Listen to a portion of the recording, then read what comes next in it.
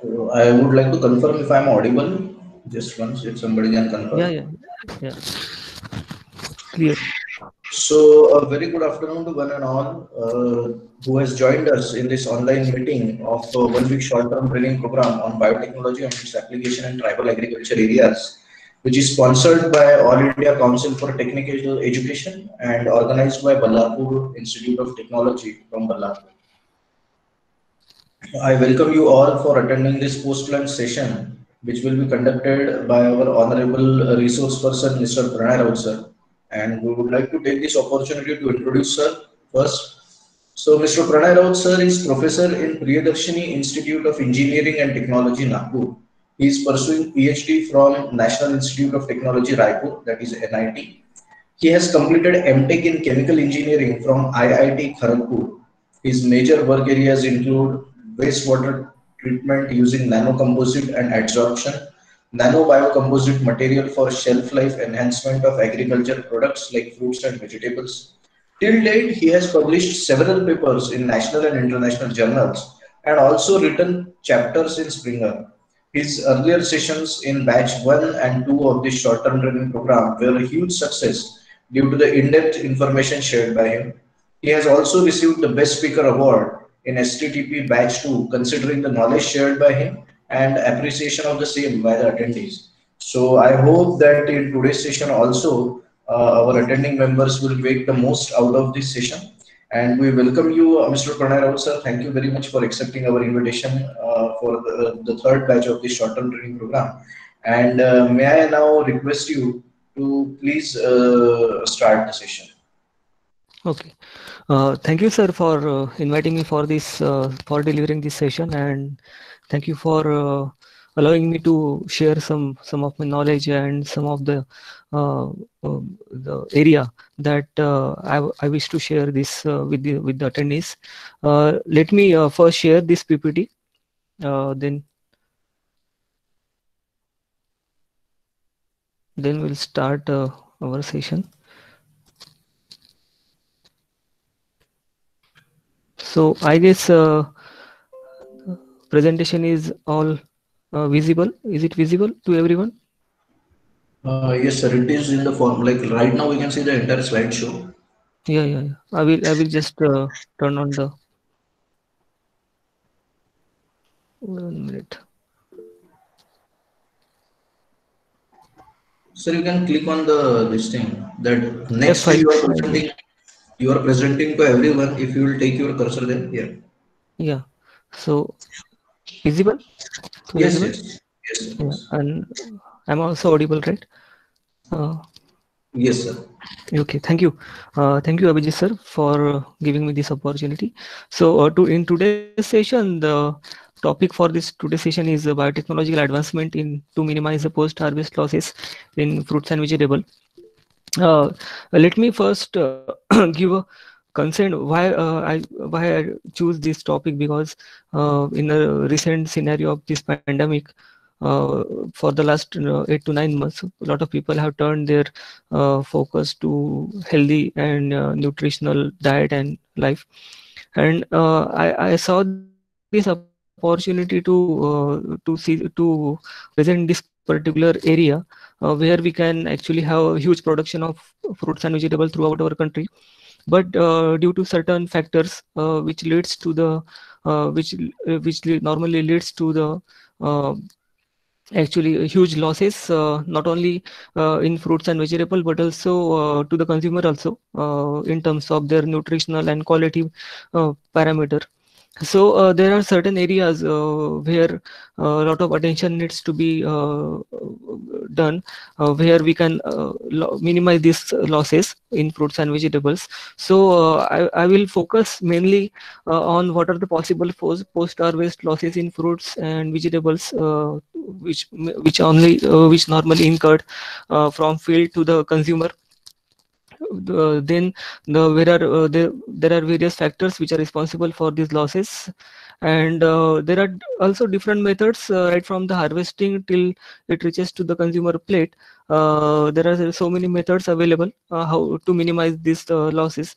But i will mainly focus on the use of since our background is engineering so uh, I will focus on using the edible film and coating uh, techniques, uh, how to form the films around the fruits and especially food package, food materials uh, which now which uh, which uh, till it uh, reaches to the consumer then how to uh, how how we can we will discuss about the composition of edible film and coating. And there are so many challenges and future perspective also uh, since there are the challenges so the, the, there is also arises a future perspective in the film formation and coating formation techniques as well as for coating various fruits and various food materials and uh, also uh, this is this area i will i will show some uh, videos uh, which will help our attendees to understand uh, about the techniques uh, different techniques which are available.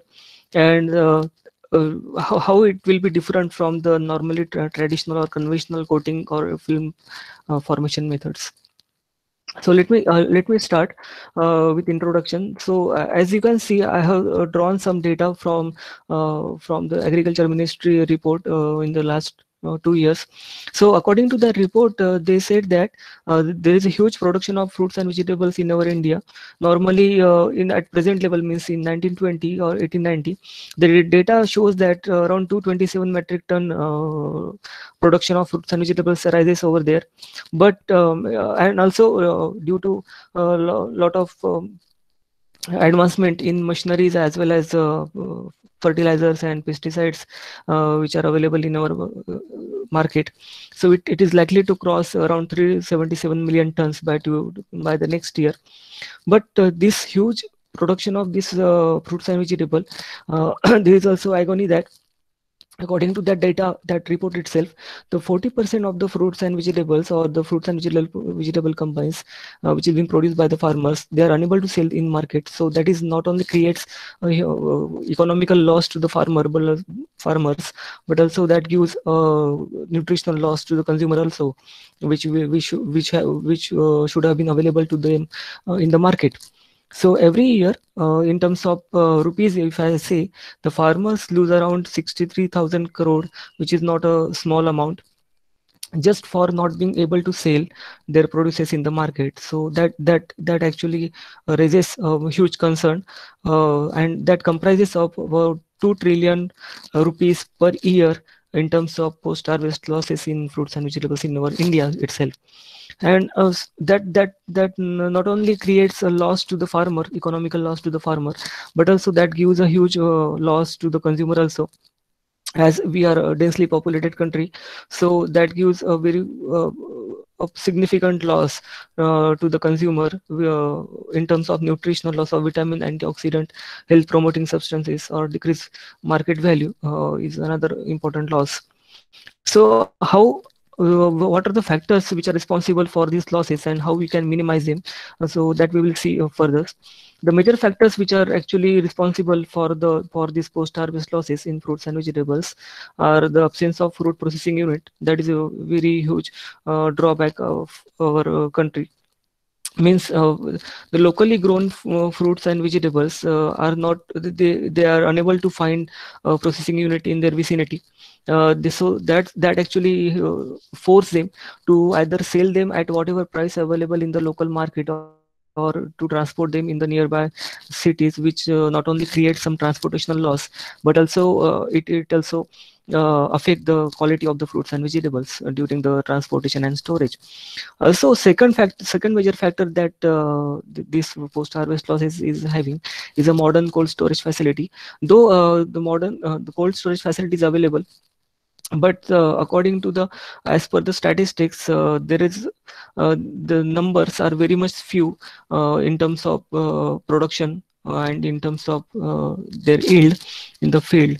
So the modern cold storage facility is also another factor which uh, which is being uh, forcing the farmers not to they, as since they are unable to store their uh, produces in the cold storage, but the, it allow it actually force them to sell in the market uh, as soon as possible. So uh, that, is, that, that is another uh, factor.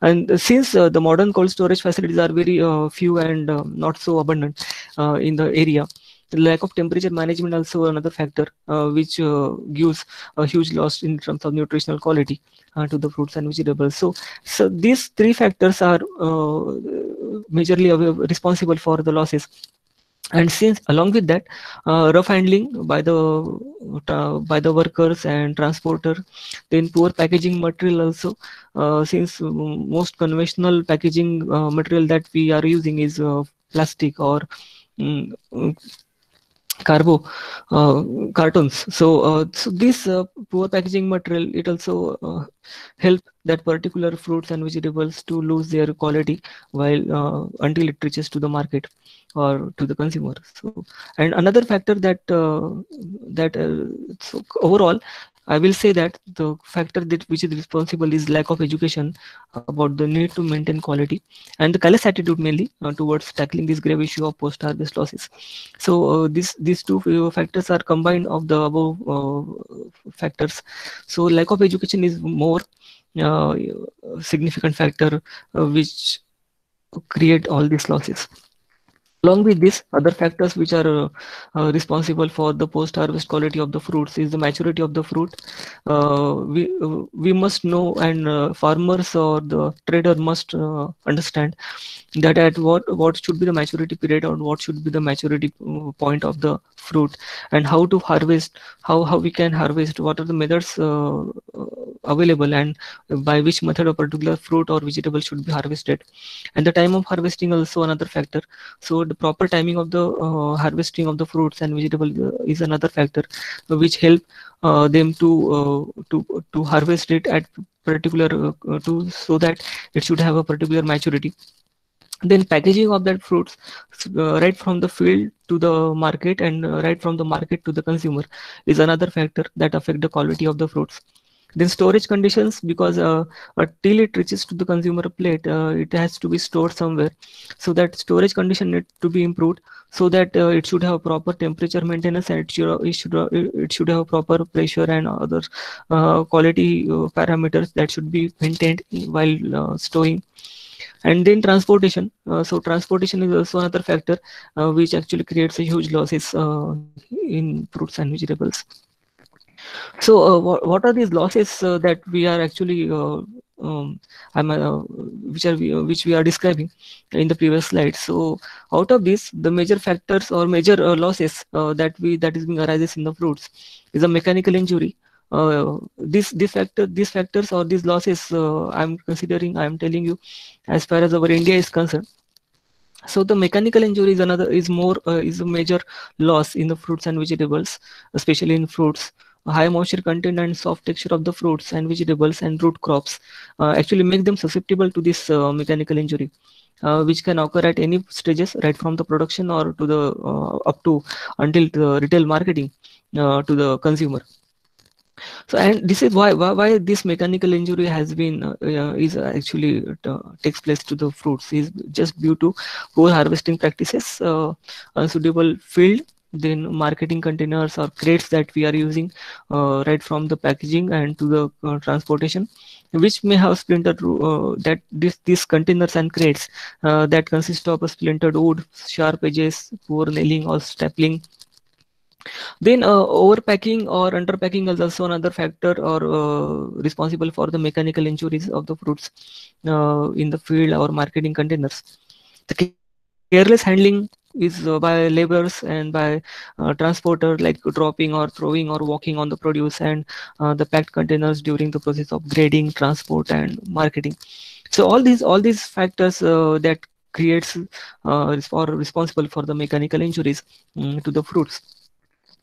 So injuries uh, that uh, caused can take any forms, uh, splitting of the fruits or roots or tubers from the impact when they are dropped or internal bruising not visible externally but caused by the impact and superficial grazing or scratches affecting the skin and outer layer of the cells and the crushing of leafy vegetables or other soft produce and these actually losses uh, force the farmers to sell their produces as soon as possible as well as uh, for the traders to sell them as soon as possible in the market or to the consumer at whatever price it may take. The the injury is uh, cutting through or scraping away the outer skin of the produce that will actually provide entry points to the mold and bacteria causing decay. And that that actually increases the water loss from the damaged area and this cause actually the increase in the respiration rate and thus heat production.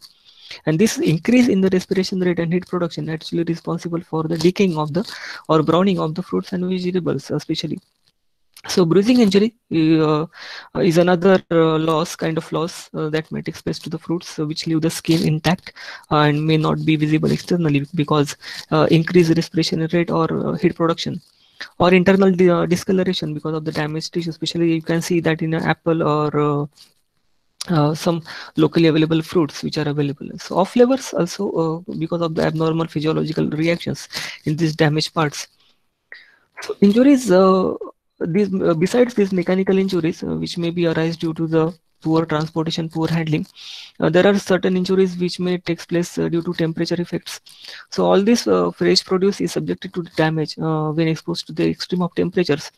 Uh, since our uh, our region is having uh, this kind of extreme temperature because right now our region is having a temperature at around uh, 7 to 8 degrees celsius and right in the summer it goes to the 40 degrees celsius. So there is a huge difference in the temperature right from 8 degrees celsius to the 40 or 45 degrees celsius. So the commodities uh, very uh, they vary actually considerably in their temperature tolerance and since uh, these extreme temperature have to be has to be tolerated by these uh, produces that which are being produced in the field and so their level of tolerance uh, to low temperature are of great importance where the cold storage is concerned so the freezing injury, uh, all produce is subjected to the freezing at temperature around 0 to minus 2 degrees Celsius. So the frozen produce uh, has a water soak or glassy appearance. So although a few commodities are tolerant of slight freezing, it is uh, advisable to avoid such temperature because subsequent storage life is short and the produce which has recovered from the freezing is highly susceptible to decay. Another kind of injury uh, that may take place due, this, due to this temperature effect is a chilling injury. Uh, some type of fresh produce is, uh, are susceptible to the injury at low and but uh, non-freezing temperature such. And such crops are mostly of tropical and subtropical origin. But few temperate crops, they may be affected uh, due to this chilling injury. Uh, so all these uh, losses, uh, all this kind of chilling injury or mechanical injury or temperature uh, injuries, uh, the losses from post-harvest disease in the fresh produce fall into main two categories. That is in loss in quantity and loss in quality. we will actually, we are actually concerned with both loss in quantity as well as loss in quality. So uh, what loss in quantity, um, the more serious occurs when the deep penetration of decay makes the infected produce unusable. And this is often the result of infection of the produce in the field before the harvest. Whereas the loss in quality, it occurs when the disease affect only the surface of the produce. It may cause uh, skin blemishes, then can lower the value of a commercial crop and in in crops grown for local consumption the result is less serious since affected skin can often be removed and undamaged interior can be used. So how to minimize all these losses? I have, I have not covered all the uh, all kind of losses, but which have been uh, actually applicable here in our session. So how to minimize? Uh, there are certain methods which uh, by which we can minimize these losses. Uh, simply by harvesting a good quality crop in a good condition is a is very very much essential while keeping this harvested produce in a good condition that is storage until it consumed or sold. So is another uh, kind of uh, uh, we can minimize the loss.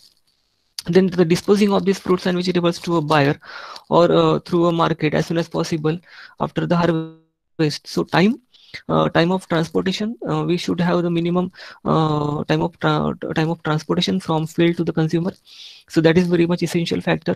And second is uh, storage. Uh, storing all these produces in a good condition is another uh, factor. And harvesting um, good quality crop in a good condition is another kind of factor which, by which we can minimize the post harvest losses along with this uh, planning is also important and training of the worker is also another uh, important which is being most neglected uh, uh part of the uh, whole this process.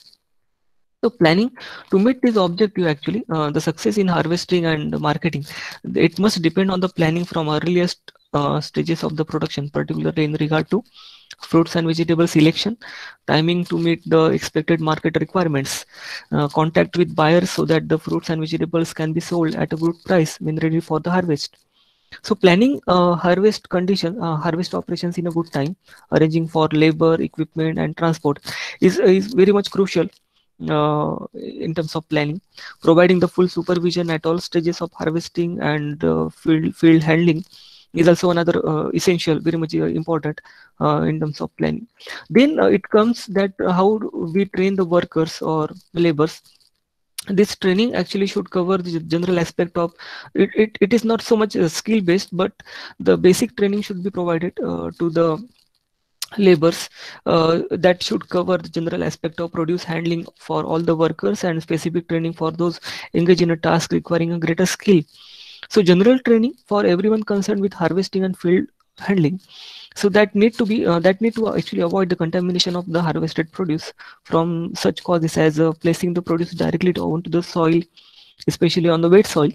Using dirty harvesting or field containers uh, contaminated with soil then fruits and vegetables residue or decaying the produce containers must be kept uh, must be kept clean so avoid we should avoid the contact with uh, oil gasoline or any chemicals other than those uh, used specifically for authorized post harvest uh, treatment. So so that particular handling is very much important. Uh, that should avoid the direct contact of the fresh produce to with soil or oil or gasoline or some other chemicals uh, and also containers in which we are uh, transporting the produce in a specific training also important uh, methods of evaluating the readiness of the produce for harvest.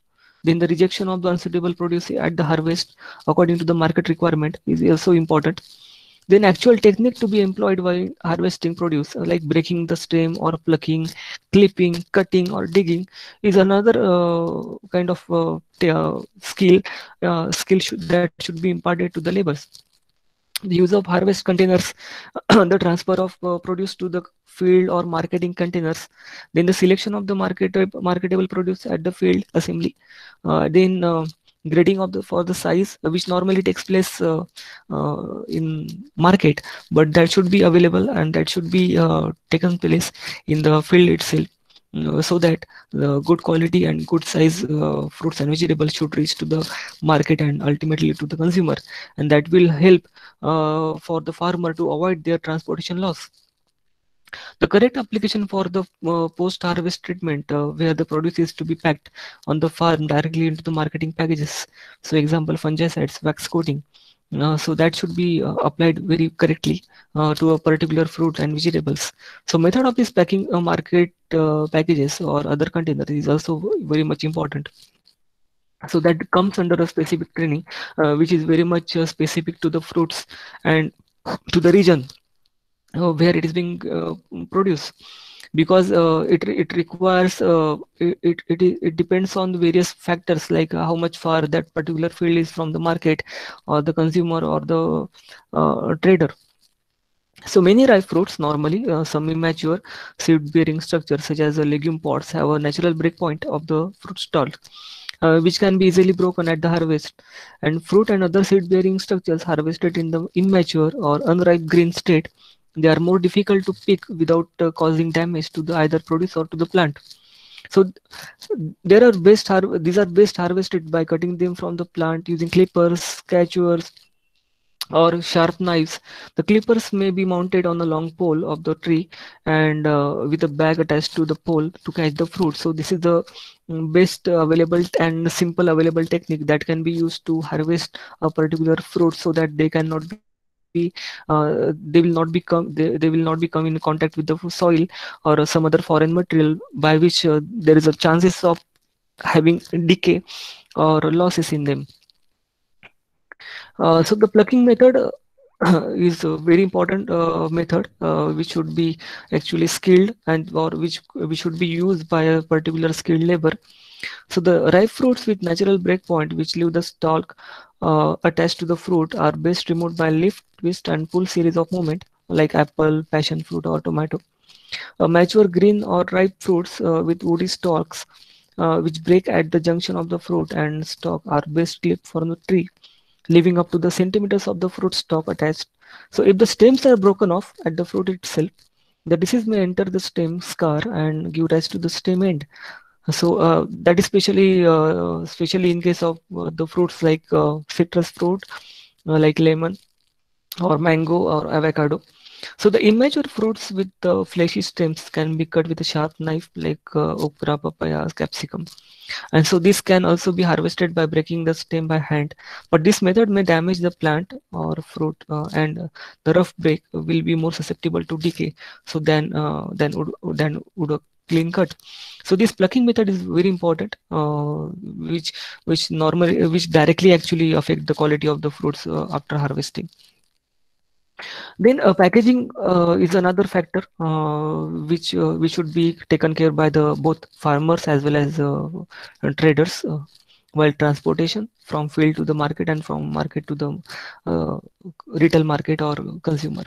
So the most fresh produce uh, ready for the market is composed of a large number of small units of similar size which must be moved in amounts conveniently handled by one person and this is best achieved by using containers having a capacity from 3 to 25 kg up to dimension of about 60 percent 60 per 40 per or 30 per centimeter and some commodities like potatoes may be marketed in a 25 or 50 kg sacks. And uh, other large items such as whole bunches of bananas or are they should be moved without packaging. Leafy vegetables can be sold loose or tied in the bundles but not packaged. So particular packaging is packaging is very much important in case of uh, particular specific to the fruits or vegetables in so uh, most developing countries uh, they use the traditional baskets sacks or uh, trays to carry this produce to the market and these are actually uh, of low cost made from readily readily available materials such as dried grass palm leaves or bamboo. So they serve the purpose for fresh produce carried over a short distance but they have many disadvantages in big loads carried to the long distances and the large commercial quantities of this produce need a better packaging in order to minimize losses and uh, the achieve most economical use of transport. And the aim is to protect the produce from damage in handling transport and storage and to provide easily handled and counted containers of the uniform size.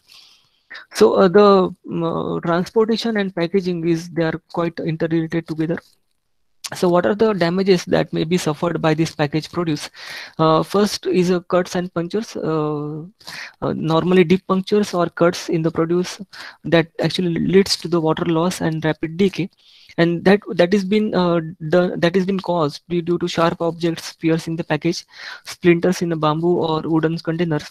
The staples or nails protruding in a container then the shock mainly uh, kind of busting of the packaging or bruising of contents uh, which may be affected by uh, which actually caused by the throwing or dropping of the packages sudden starting or stopping of the vehicle causing load movement and speeding of the vehicle on a rough road.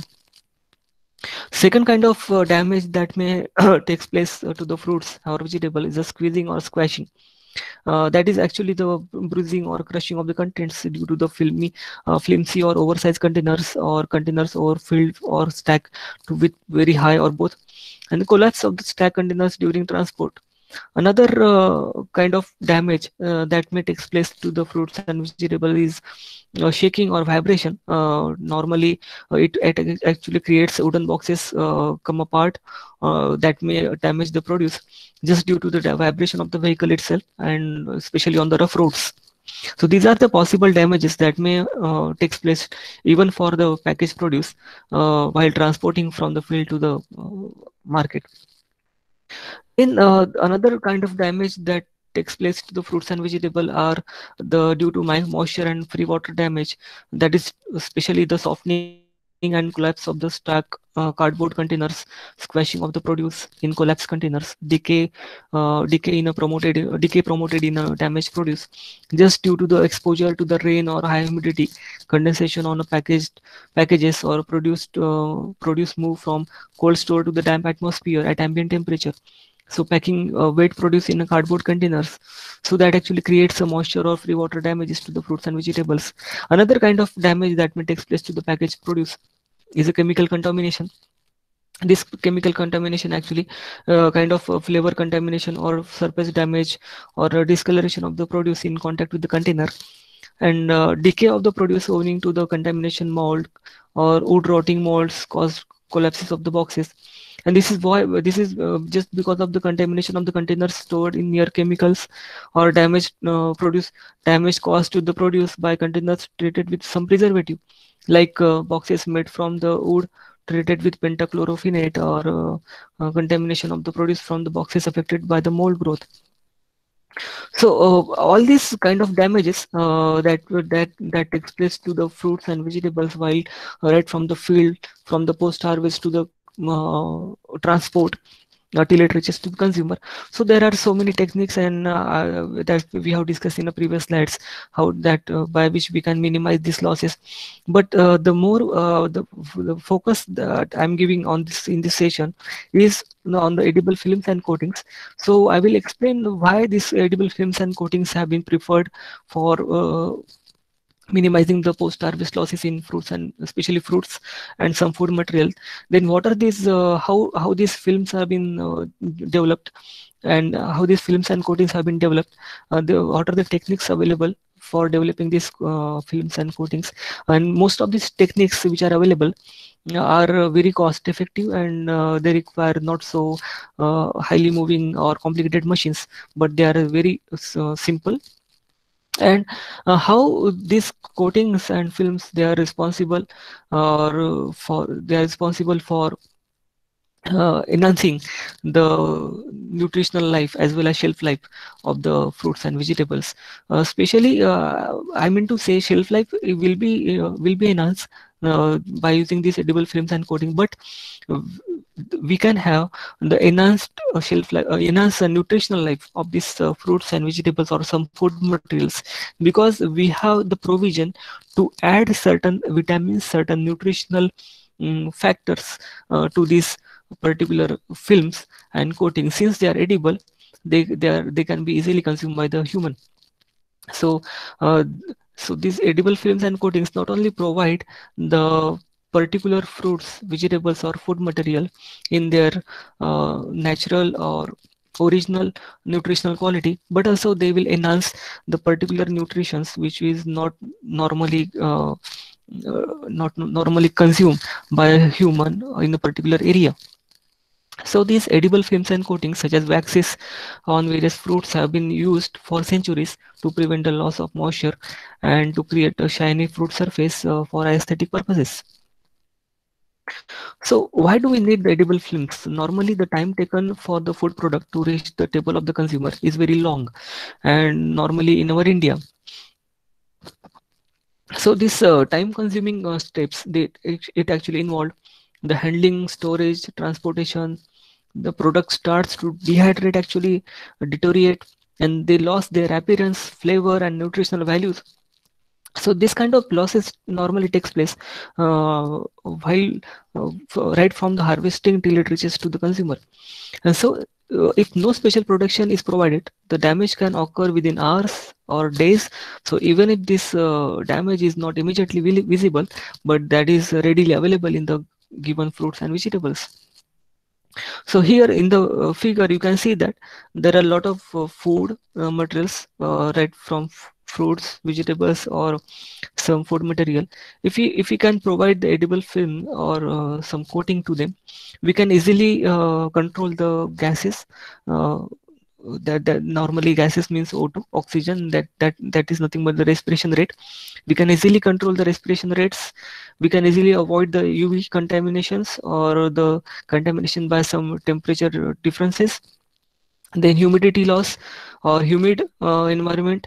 Also we can enhance the flavor and aroma compound and there are uh, these factors like antimicrobial antioxidants and probiotics so we can easily provide these uh, particular anti antioxidants antimicrobials and uh, mm, probiotics to this film so as to not only enhance the nutritional quality or uh, nutritional quality of this particular uh, food material in which this edible film and coating is been uh, wrapped but also enhance to enhance their shelf life so uh, let's shortly summarize with history. As as early as 12th century, uh, the citrus fru fruits from the southern China, they were preserved for the emperor's table by placing them in boxes and pouring molten wax over them and sending them by caravan to the north. In Europe also, the process was known as larding, storing the various fruits in wax or fats for later consumption. While such protections prevented the water losses, the tight, thick layer in interfered with the natural gas exchange, which is very much essential for the for maintaining the quality of the particular fruit uh, and resulted in a lower quality product. So later in 15th century, uh, edible film yuba made from the skin of boiled soy milk was used in Japan for maintaining the food quality and improving their appearance. As well as uh, also in the recently in 19th century, uh, the US patent was issued for the preservation of various meat products, uh, especially by gelatin. So other early preservation methods uh, that included smoking or keeping the products cool in ice boxes or in an underground cellar. So there are this this edible film or edible uh, uh, coatings or I will say the simple films and coatings. Uh, they have, this practice have been uh, right from the 12th century and uh, it's not so recently, but it's so old. But uh, today there are various modern methods which have been available uh, for uh, for maintaining this for maintaining the quality of the fruits and vegetables like refrigeration, then control atmospheric storage called as a CAS then uh, sterilization by you both using uh, having uv and gamma radiations uh, to keep our food safe. Nevertheless for many kinds of food coating with the edible film continues to be one of the most cost effective ways to maintain their quality as well as safety. So our uh, issues uh, our concern should be towards quality as well as safety uh, towards our food which we are going to consume. So any type of material what is actually this uh, edible film and coating means actually? So any type of material used for enrobing uh, like uh, coating or wrapping the various food to extend the shelf life of the product. That may be eaten together with the food uh, with or without further removal is considered as a edible film or coating. So edible films uh, they provide a replacement uh, or fortification of the natural layers to prevent the moisture losses while selectively allowing the allowing for controlled exchange of the important gases such as oxygen carbon dioxide ethylene which are involved in the respiration process. So the film or coating can also provide surface sterility and prevent the loss of other important components. Generally, uh, the thickness is normally less than 0.3 millimeter. So uh, from here, we can easily say that uh, the coating is a very simple wrapping, uh, which will enhance the shelf life of the food material around which we have to coat them or enrobe them uh, as well as not uh, it will also enhance its uh, nutritional life by controlling the exchange of important gases like oxygen carbon dioxide and ethylene which is responsible for the respiration uh, through this uh, fruit and fruits normally fruits. So today uh, the most wide, widely used commercial method for long range protection is interim storage at low temperature uh, from 4 to 8 degrees Celsius, especially for lightly processed food. So lowering the temperature generally decreases the undesirable enzyme activities. Although the temperature decreases down to 0 to 5 degrees Celsius may actually lead to the increases in the respiration rate and ethylene production. So and but below uh, 0 degrees Celsius, the growth of mold is inhibited. But even uh, uh, even this low temperature does not fully eliminate the undesirable chemical or physiochemical uh, reactions. For example, uh, the fruits and vegetables which are native to the tropical climate, uh, they experience uh, harmful harmful uh, chilling effects such as damage to the cell membrane at temperatures of about 10 to 12 degrees Celsius. So in addition, uh, some cold tolerant pathogenic microorganisms, they actually uh, start to grow even under refrigeration conditions. So uh, the how these issues to be uh, addressed, the discoloration or enzymatic browning normally caused by polyphenol oxidase uh, is a very much frequent issue, which you normally see in various fruits like avocado and ap apple. this phenomena uh, does not affect the weight uh, or nutrition but sometimes it uh, taste also is getting affected by this um, browning reaction. And it is unsightly, unsightly and results in a loss due to the consumer rejection so in addition the changes in a gas transition result in various other equally important detrimental characteristics that includes the loss of change in uh, change in flavor and aroma aesthetically unacceptable appearance and change in texture so uh, we have to avoid all these particular uh, uh, issues uh, that normally takes place. So loss of water, uh, as soon as the water, fruits and vegetables are separated from the native production environment, like they are harvested, so the delicate balance get upset. The water activity normally changes and various physiological reactions takes place uh, which were previously kept under control in developing fruits and vegetables uh, that gets accelerated uh, after harvesting the respiration also get affected uh, resulting in altered ratios of oxygen and carbon dioxide and the increased uh, ethylene production accelerate the ripening thus uh, the changing the color flavor texture and nutritional characteristic of the fruits and vegetables. So that's why there is a need to maintain the balance between gases like oxygen and carbon dioxide so as to control the respiration rate uh, that that that will help uh, to control the ethylene formation and uh, ultimately that will help to uh, control the ripening of the fruit uh, the so the significance of the edible film is uh, one obvious solution is to protect the food from these uh, changes until they are ready for the consumption via application of the edible film, uh, which can prevent contamination, uh, microbial growth, and pest infestation. So, in addition, the edible films can help alleviate the comparative loss of weight for whole and half apple samples quality issues during the quarantines that are frequently invoked on the fruit due to possible infection with insect eggs so many exports normally, uh, I'm giving you example. Uh, so many exports are held back at ports until the costly fumigation is carried out. So the fruit need to be stored at around 1 to 2 degrees Celsius for 14 to 24 days before shipping. And now this coating, and the coatings can reduce the oxygen level within fruit and actually kill the larva. Though this method is not so always optimal, but also reduce the fruit quality. Since the potential eggs are laid on a natural skin, the better way is to remove the skin and envelop the fruit with edible film. So uh, where here we can easily find the application of the edible film in which we can easily control uh, or we can uh, restore the quality of the fruit by removing the skin and uh, wrapping that particular fruit uh, with edible film. So how do we prepare the film? There are two kind of two methods. Uh, uh, which uh, in which we can easily uh, categorize uh, the methods of preparation of the edible film. One is a wet process, another is a dry process. Uh, wet process means a solvent solvent cast, casting method. Another dry process is the extrusion method. So wet process, uh, as far as I will, um, I, I, have, I have read, the solvent casting method is normally taken place at a lab scale or the pilot level scale, where the method or the particular technique is to be scaled up but uh, uh, if we want to scale up that particular method up to a commercial level so we have to process or we have to use ex extrusion method. But there are some advantages and dis disadvantages which are being associated with this uh, wet and dry process.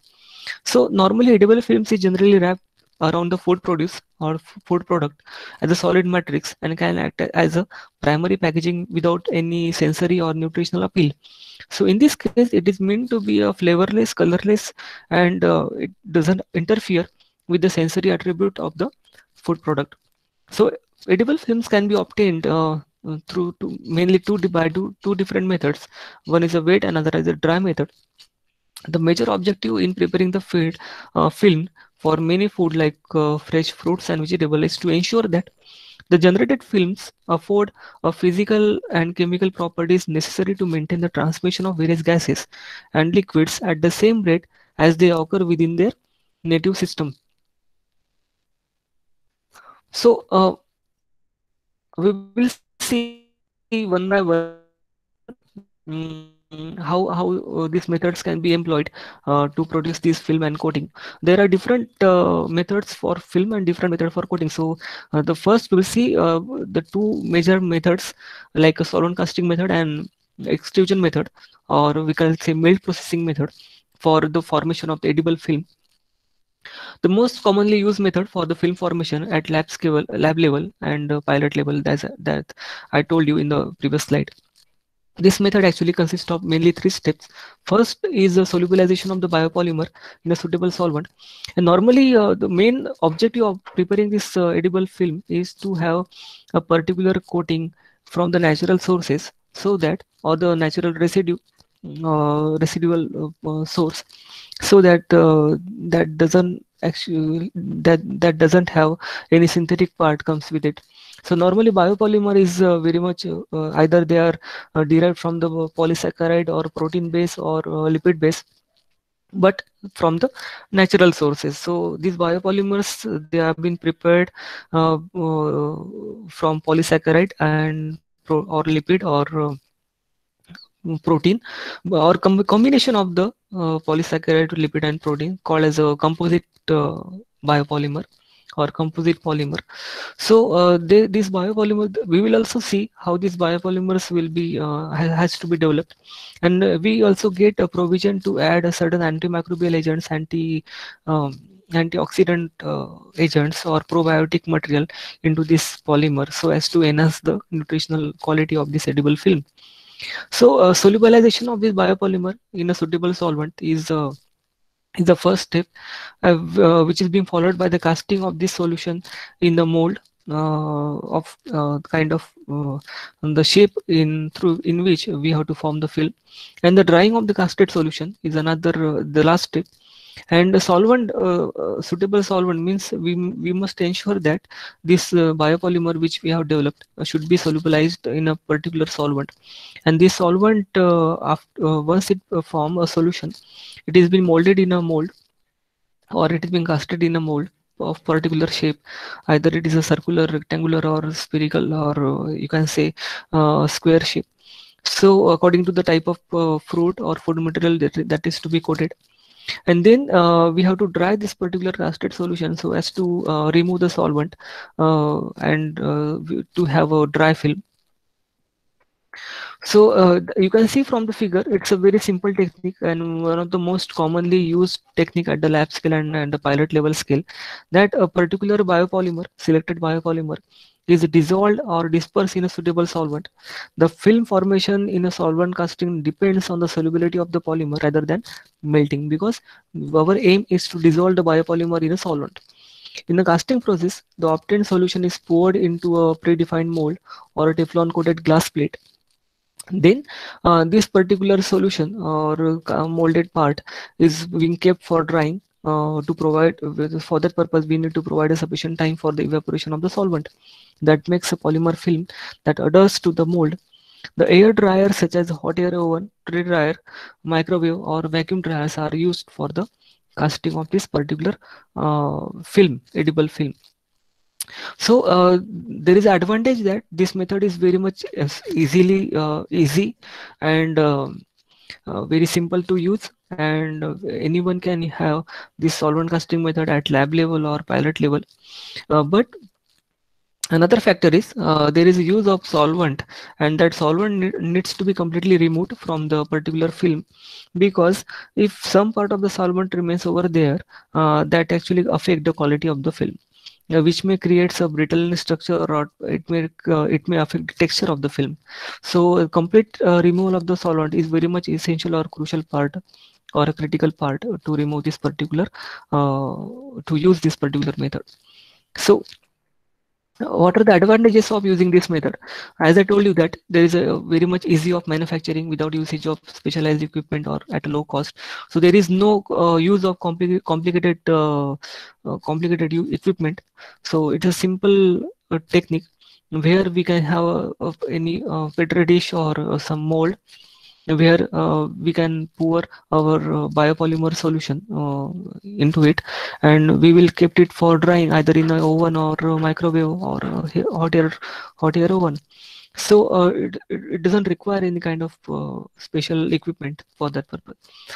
And the casting method it is being a weight procedure. It leads to a better particle to particle interaction making the particle packaging more homogeneous and causing very fewer defects and the lower temperature normally takes place at lower temperature or uh, uh, normal room temperature so the lower temperature during the processing step can also be advantageous as most uh, food processing materials cannot be molded at higher temperatures without inducing an irreversible structural changes in the material.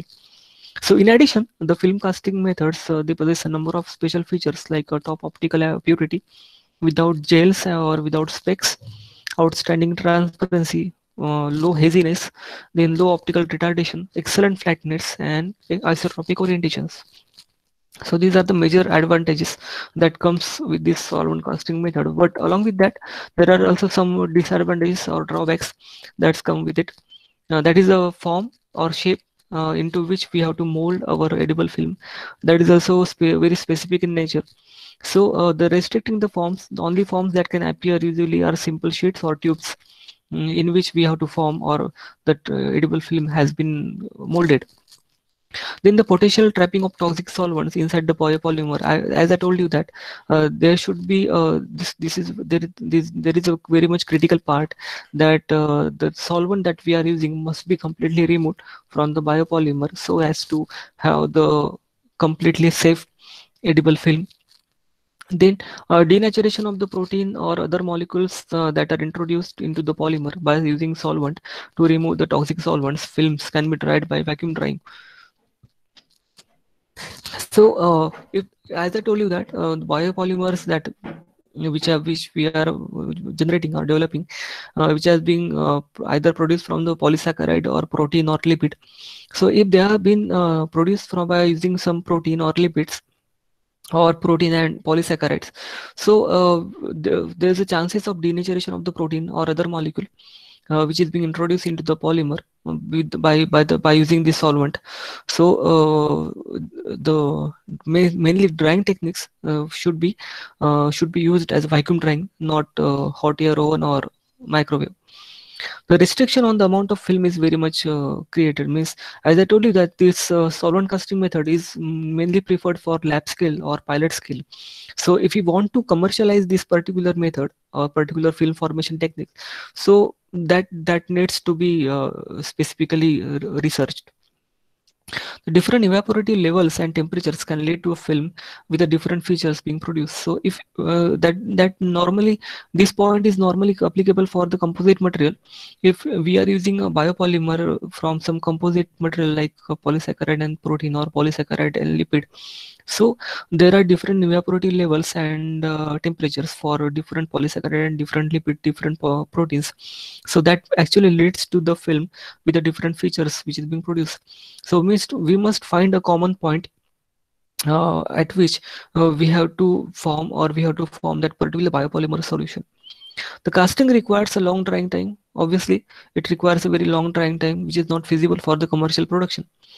So to convert the film production uh, from laboratory to production scale, that is the commercial scale, uh, because many variables like uh, heating, combination of speed, temperature, that could cause the quality differences and prevent the constant development of the for commercial scale.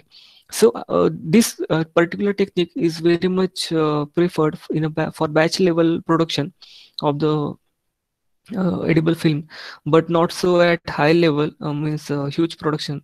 Uh, and uh, the quality also can cause di differences due to the different conditions that, that we are importing. So uh, there is a constant challenges which associated with this particular technique to bring the production of the edible film to the commercial level. So there comes a extrusion method especially called as a melt process or dry process so major polymer processing techniques uh, currently uh, in use at a commercial level. So this extrusion process in general can be divided in three zones. Uh, actually, it has a particular, as you can see from the word that extrusion method. So there is an extrusion uh, taking place in this particular, uh, we have, we should have extruder. So extrude, as you know, all the uh, that particular extrude, any extruder, this extruder has a feeding zone kneading zone and heating zone uh, at the final part or exit from the machine. So uh, the film component, uh, film component mix is a first step. That means a feeding zone carried into a feeding zone and then they have been compressed with air. This method best operates with a minimum content of water or solvent. As uh, in the previous method, uh, we had a major drawback of uh, using a solvent and that should be completely removed from the edible film so as to enhance its safety for both particular fruit as, as well as uh, for human consumption. So this method actually minimizes or uh, that eliminates that particular drawback that this uses a minimum content of water or solvent. So that, that's why it is being called as a, called it as a dry process. The strain, temperature and density of the mixture increases when ingredients are passed into the kneading zone. Uh, single or twin screw extruder they have been successfully used in the fabrication of the edible film as you can see that i will also show you the video uh, by which you can easily understand how this particular process operates so as far as uh, this particular diagram is concerned i'm uh, this, this, is a feeding zone from which a particular biopolymer is being uh, introduced into the machine or into the equipment or into the extruder. And it is a screw uh, that actually that actually uh, rotates either uh, either that actually rotates. Um, so this uh, during the rotation of this particular screw so this particular kneading kneading takes place uh, once the feed is entered into the um, zone. And uh, due to this rotation it enhances towards the exit or towards the mold uh, where and when it reaches to the mold it actually uh, heating takes place here. And whatever solvent or minimum water we have used that gets uh, evaporated in this zone giving out a thin uh, sheet or uh, film of the biopolymer. So the short time of the processing with low energy consumption compared with the casting method is major advantage of this particular extrusion method Enhanced mechanical and optical properties like elongation and transparency of the edible film. Since the extrusion process is involved here, uh, we can have the enhanced mechanical and optical properties for the film, which actually uh, not uh, so uh, visible in the solvent casting method. So it is a high performance uh, process uh, having a low cost and efficient process uh, used in the food sector for the production at the commercial level. Uh, it, it normally uses a minimum amount of or no solvent. So easy handling of the high viscosity polymer, which is uh, which ranges from the temperature of around 700 to 500 degrees Celsius and pressure of about 0 to 500 bars. So it has a very wide range of processing condition. So we can operate or we can have any kind of biopolymer especially high viscosity polymer which is not so suitable for solvent casting method can be used for the preparation of edible film or uh, for the manufacturing of the edible film at commercial level. Since uh, the biopolymers like uh, polysaccharide or protein or lipid can be operated or have can can be having a wide uh, range of uh, solubilization temperature from 700 degrees celsius to 500 degrees celsius right from the pressure from 0 to 500 bars so uh, we can control uh, of the feed residence time as well as degree of mixing in this method. So these are the major advantages of using this extrusion method, but along with that, there are some disadvantages also. So the limitation to the process only temperature tolerant and low moisture raw material blends which restrict the use of these certain polymers. The higher initial cost of the specialized equipment and higher maintenance cost actually affect the usage of this particular process. So let's see a video that will easily help you to understand how this particular process is being uh, used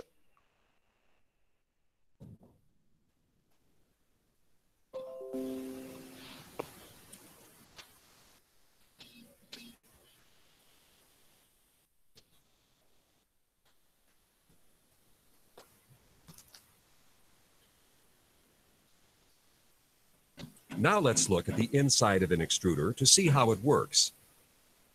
The plastic raw material in this hopper travels by gravity to the feed throat and drops onto the rotating screw. The rotation of the screw conveys the this rotation is actually a clockwise rotation or anti-clockwise anti-clockwise normally not, but it is normally a clockwise rotation so it enhance it helps that particular feed to move to, to the uh, heating zone where the temperature is being maintained and mold is available over here the plastic forward through the heated barrel. As the plastic is conveyed forward along the screw, the channel depth decreases, forcing the plastic through a smaller area. The combination of compression and screw rotation causes friction which generates heat. This is called shear heating. This heat, along with the heat from the barrel heating system, melts the plastic.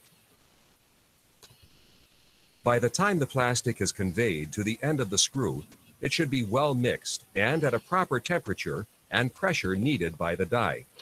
Uh, since here it, they are, uh, this person is telling about the plastic, but we can easily uh, have uh, instead of plastic, we can easily have the word like biopolymer solution because since the solution is uh, we are feeding the solution biopolymer solution along with some solvent, minimum amount of solvent. So this biopolymer solution gets a heated uh, temperature throughout this particular kneading zone. Plastic is called a melt at this stage. So that's why uh, since this plastic or any biopolymer solution or any polymer solution uh, which we are feeding to this particular equipment or a extruder is called a melt. That's why this process is also called as a melt process. Beyond the screw, there can be a screen pack. The screen pack is a set of wire mesh filters that the plastic must flow through. This is actually a die uh, where a, a particular shape of the die uh, in which in the in which form we have to form a uh, we have to uh, manufacture edible film is located. So when it biopolymer solution heated by a biopolymer solution when it passes through this particular uh, screw and when it reaches to this particular die it takes the shape of this particular die and through which it move forward in the form of thin sheet The screens are typically from 20 to 100 mesh, which indicates the wires per inch. The screen pack is supported by a breaker plate, which is a sturdy metal plate with many holes for the plastic to pass through. The screen pack filters contaminants from the melt. The screen pack must be set in place with a coarsest screen next to the breaker plate so each screen can support a finer one. Otherwise, the pressure difference may break the fine wires, contaminating the product and possibly doing permanent damage to the die. so i hope this uh, video will help you to uh, will normally uh, will help you to understand how this extrusion process uh, takes place. And that is what uh, the process used normally for the preparation of edible film. Now uh, we will see the method of edible coating applications. So uh, this there are uh, co- different coating applications which are available uh, which should be applied on the food material or fruit so normal uh, in the figure as you can see that the coating methods that i have shown you is a dipping brushing spray coating electrospraying uh, panning and fluidized bed. So uh, one of the simplest uh, coating applications methods that are normally used are dipping method spraying and panning method. That i will explain to you. I will also uh, uh, show you some uh, simple video so uh, dipping method means uh, dipping a particular fruit material like you, you- as you can see uh, wax coating. So wax coating is a very simple example of a dipping method uh, which help the particular apple to be coated with the wax. But since this that wax uh, um, wax coating uh, is is very much disadvantageous uh, in terms of texture in terms of flavor or aroma or in terms of shelf life so uh, that should be coated with some particular edible coating. So dipping method a simple coating sol- coating a particular fruit or food material in a coating solution.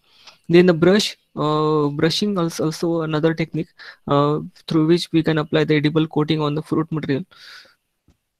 Then the coating of the particular fruit by using atomizer the, there is a, a small nozzle uh, and the auto, atomi- atomizer through which uh, we actually spray our coating solution in the form of small droplets that you you might have seen in a milk milk, milk powder preparation methods in the dairy industry. So in dairy industry uh, for the preparation of the milk powder this uh, particular uh, spraying method or atomizer is very much in use so this method can also use for the coating of the particular food material or fruits then uh, which has been also uh, more mechanized uh, way or in terms of dipping or brushing method and which will be modified further by using electro spraying techniques which will help to coat a particular fruit or material, especially nuts, uh, with coating uh, solution. Then a panning method. Panning is also a very simple technique of coating a particular food material normally, uh, which are being like nuts or confectionery products, especially confectionery products in a rotating pan. I will also help. Uh, I will also show you some video uh, which will help you to understand this particular panning method. Then uh, there is a fluidized bed particular uh, this particular uh, fluidized bed material as you can see that the atomizer spray and the coating solution is being sprayed uh, and uh, particular uh, the food material which is to be coated in kept is kept in a fluidized manner and this fluidized uh, it has been passed through this particular fluidized bed so as to have a uniform coating on it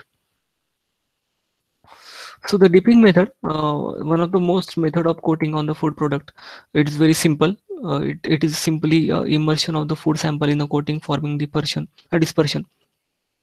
Uh, the dipping method for applying edible coating on the food products consists of mainly three steps, immersion and dwelling, uh, deposition, and then evaporation of the solvent as you can see that there are uh, different food products available here which have been coated in a particular container container in a coating solution. And then uh, it is been immersed and built over here. Allow it to deposit on the food material or fruits. And then it has been kept for the evaporation of the solvent from the um, dipping solution so as to have coating on this particular food material. So uh, how, it, how it takes place is it, in the first step, normally, uh, the substrate is immersed in a coating emulsion or solution at a constant speed.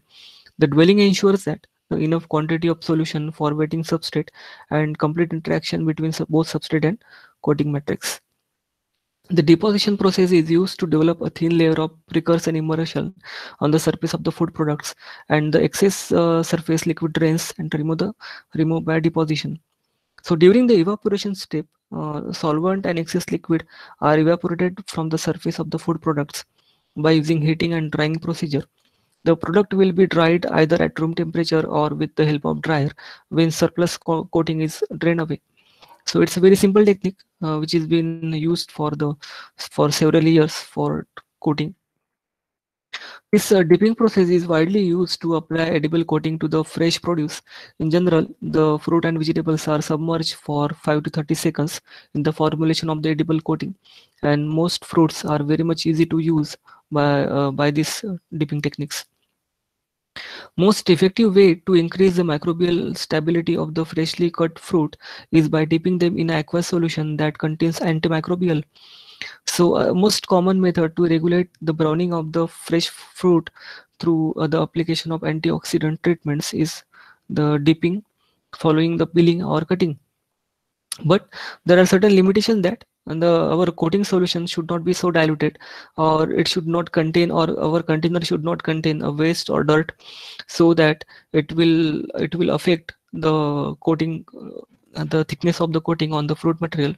And also it will have the uh, it will also affect the development of microbes in the dipping vat so the dilution of the external layer and degraded its functionality after dipping the natural wax coating of the fruits and vegetable might be detached another technique that uh, we normally our industry has seen is spraying technique. It's a very simple technique uh, that has a spraying wetting then the recrystallization and the coated particle uh, technique. This spraying actually uh, i will show you uh, one video uh, for this spraying technique.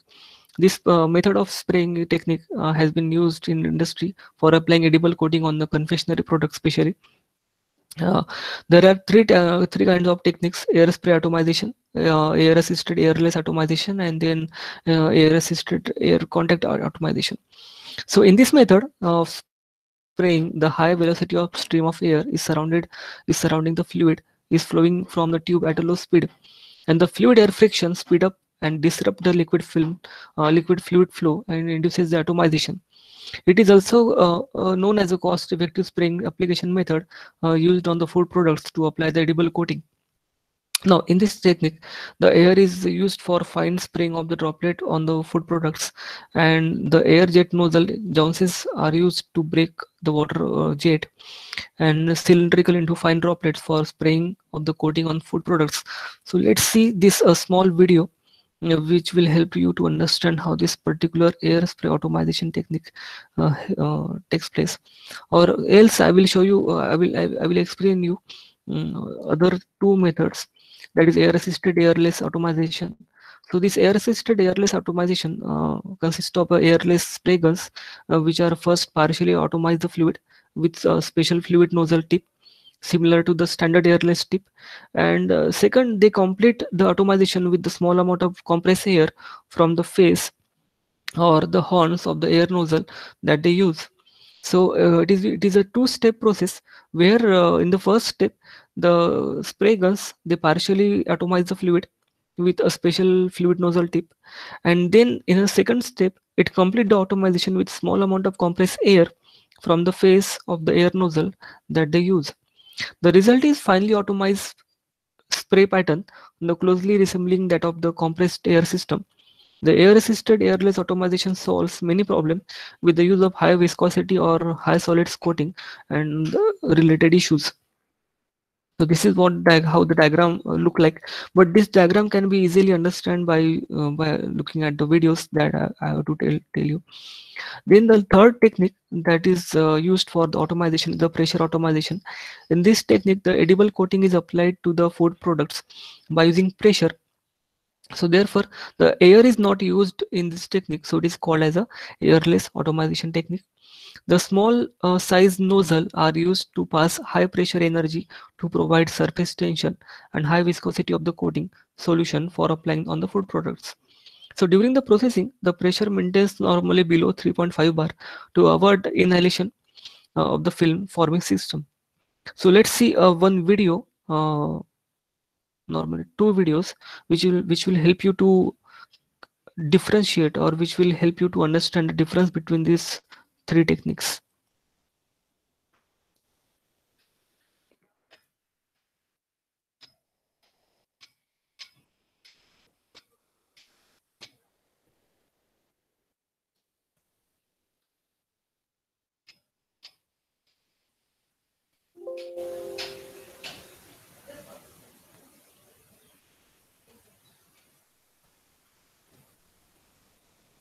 Uh, this uh, video has no volume actually. Uh, next video is having a volume, I guess. So here we can uh, see that this is a conventional nozzle and this nozzle is actually help that particular solution to get atomized with the help of in, in, in the form of droplets and these atomized droplets have been passed through this particular nozzle and here the food material will be kept to have a uniform coating over it with the help of this particular nozzle. So this will actually help that food material to have uniform coating around it while pass passing through this particular nozzle.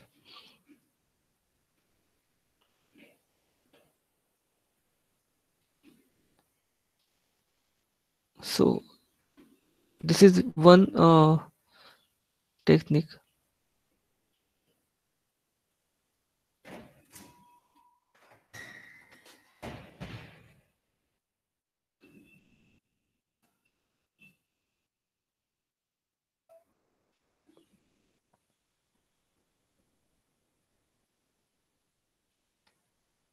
Now here you can see that this is a atomizer a small nozzle tip and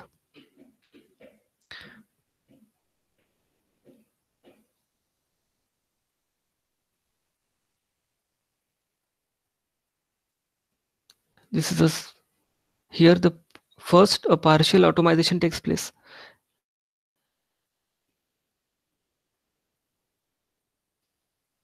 And then here comes a complete automation where the particular dipping solution is being in the fine in the form of fine droplet have been passed through this particular nozzle on this surface where the food material will be kept.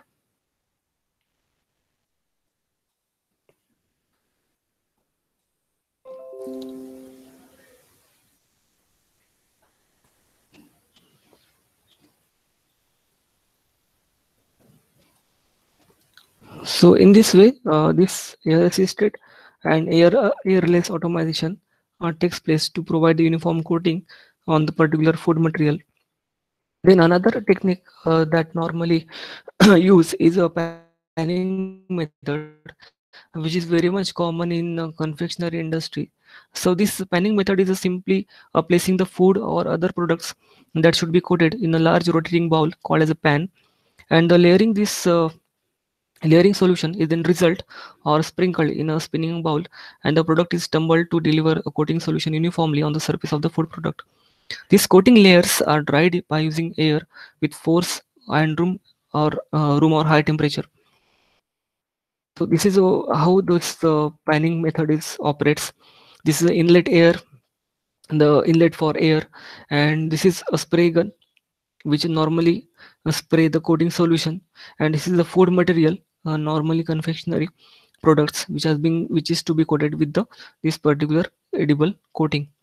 And this rot this pan this this is this is being taken place in a pan and this plan, pan is normally rotates in a clockwise direction so that uh, that will, this will this particular spray gun will help it to coat this particular food products in all directions in 360 angle. So this panning method uh, it, it, is normally used for actually either hard panning soft panning or a chocolate panning. Mm, i will i will show you uh, this particular chocolate panning how this panning takes place. It's very simple to use and you can easily picturize it uh,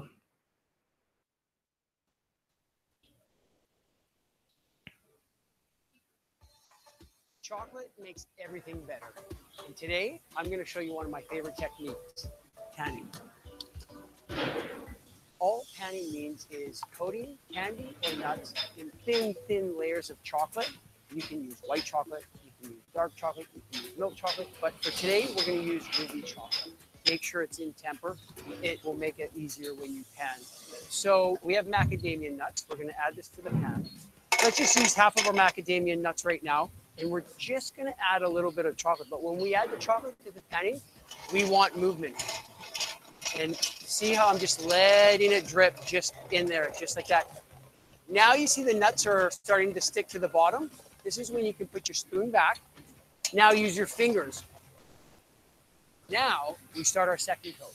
And we'll start the same process. Okay, so here we have nice, beautifully hand ruby red macadamia nuts you can see the different sizes as you add more and more chocolate. So here we have five layers, then we've moved to 10 layers, and then we've moved to 20 layers. You do how you feel how much chocolate you need. At this point, you can be creative and you can add color.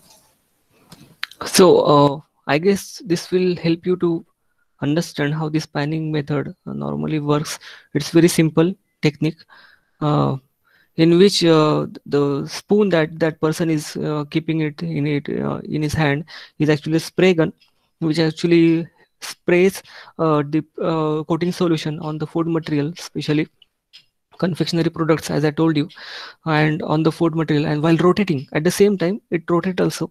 So it helps that rot that rotation actually helps the coating of the particular food material in all directions uh, with the help of this coating solutions so the hard panning, uh, it consists of this application of hard shell is hard panning through the continuous application of the sugar syrup on the surface that dries and then crystallizes. The soft panning involves the use of corn syrup or and a mixture of sugar in the form of syrup for coating which is uh, dried by applying dry sugar to form a thick soft and but smaller number of layers whereas chocolate panning is the use of fat based layer around the core and chocolate cocoa based confectionery or white colored flavored compounds uh, can be used as a coating. Now, uh, this is what the methods that normally used I actually uh, explained. I tried to explain the simple techniques uh, which can be easily used in the lab level or pilot level or can be used uh, at any point of uh, scale prior to the commercialization. So how this edible film normally uh, now we know that techniques how this edible film or coating can be formed by using either dipping method panning method or uh, spray method or by using solvent casting method or extrusion method. Now the composition of this film is very important because uh, since uh, our aim is not only to help to enhance the shelf life of the particular fruits and vegetable but we have to provide a nutritional or we have to enhance the nutritional quality also of that particular food or uh, fruits and vegetables. So the composition is uh, very important uh, of the biopolymer that we are using to produce or to manufacture the edible film and coating. So the edible film and coatings, they are normally com composed of hydrocolloids, which consist of either polysaccharide or proteins or hydrophobic compounds. As I told you in the previous slide also, so biopolymer uh, can be consist of a polysaccharide, can be consist of a protein, can be consist of a lipid, or can become consist of both. Means uh, it can be a nanocomposite called as hydrocolloids. So either polysaccharide, proteins, or some hydrophobic compounds. So as a general rule, as uh, we can see that what are the advantages of using a polysaccharide or protein or particularly lipid-based uh, biopolymer film is a fat-based that is a a lipid based uh, film they are used to reduce the water transmission rate uh, through the fruit or through the film. Whereas the polysaccharides they are used to control the gases uh, transmission from the fruit surface. Whereas the protein film actually provides a better me mechanical strength and better texture and better stability to the film. So the polysaccharide based film the polysaccharide gums are uh, hydrocolloids of considerable molecular weight and they are readily water soluble. And they dissolve in and form intensive hydrogen bonds with water. Because of the size and configuration of their molecule uh, these polysaccharides have the ability to thicken and to form a gel uh, aqueous solutions due to hydrogen bonding between polymer chain and intermolecular friction when subjected to shear so the gums dissolve in water through the formation of the solvent uh, polymer hydrogen bonds. In solution, the polymer molecules may arrange themselves into an order structure called a micelle that is stabilized or fortified by intermolecular hydrogen bonds. So uh, this polysaccharide, they are normally being generated due to the, due to the hydrogen bondings the micelle uh, that, that that gets trapped uh, and immobilizes water. Uh, actually uh, that depends on the extent of intermolecular association. And the water is either thickened uh, as a measure by a parameter called as a viscosity or converted into a gel that possesses both liquid and solid like characteristic or viscoelasticity. So when gum solutions are cast onto the surface and dried they leave a film that possesses a specific plasticity uh, tensile strength, clarity, and solubility characteristic. So this polysaccharide material, they have a hydrophobic structure and uh, when they are subjected to the bonding by hydrogen bonds uh, with water, they form a micelle. Micelle means uh, uh, they're, they're, they're similar kind of hydrophobic uh, structure. They comes together and they form a order structure. And this order structure actually helps to trap a particular microbe or uh, contaminant uh, within it. So that film is very much important in controlling or extending the shelf life of the particular fruit by the foreign material uh, which, which which will be decom which will be contaminated uh, by some foreign microbes. So this particular this particular hydrogen bonding and the micelle formation that actually gives a specific plasticity uh, very much good uh, tensile strength and solubility characteristic to this particular polysaccharide film.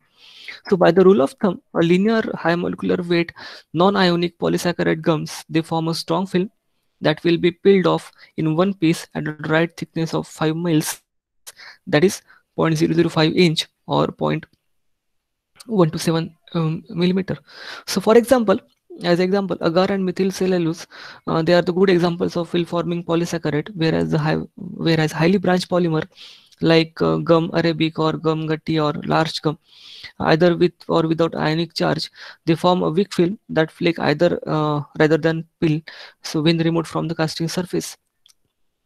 So, uh, as a rule of thumb, we must have a linear, highly high molecular weight and non-ionic polysaccharide gums to form a strong film rather than highly branched polymer. So this is how the polymer polysaccharide based film look like.